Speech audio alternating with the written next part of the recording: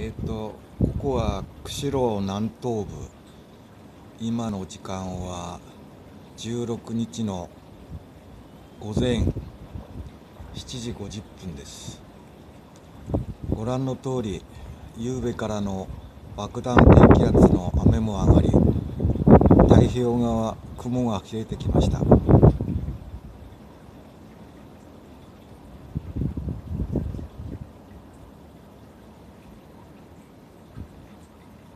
このように発電火力発電所の煙もすごくまだ西風に変わりました。雨は上がりましたけども非常に風は強いです。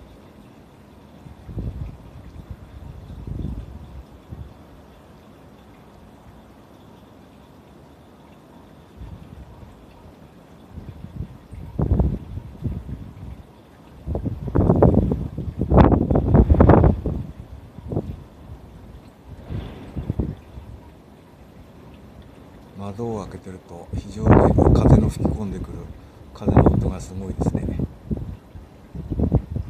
以上釧路南東部からの報告です。